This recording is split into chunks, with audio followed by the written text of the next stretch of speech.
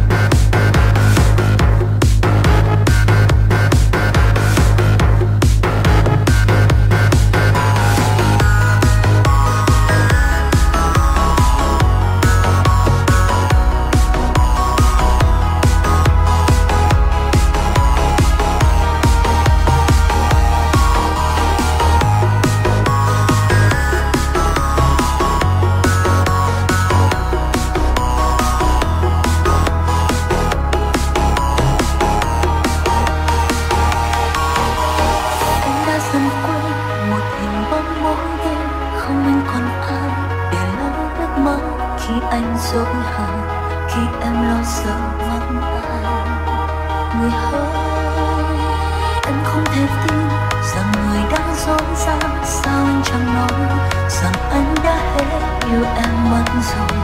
Em sẽ chẳng đau buồn hơn khi anh cùng ai khác. Nếu như ngày hôm qua